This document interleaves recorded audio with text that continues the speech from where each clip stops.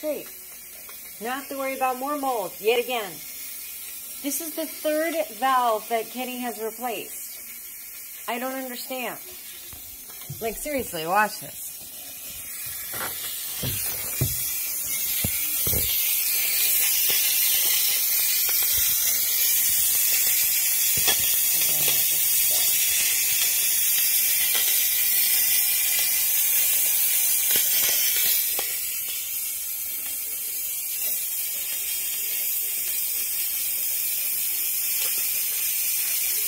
There's pure steam coming out now. And like before, this was the cause of the mold in my bedroom. And now this is the third valve that Kenny put on. I don't know if it's the valve or this this whole stupid radiator needs to be replaced. Wouldn't be surprised. But I'm not dealing with another mold incident. This needs to be fixed now.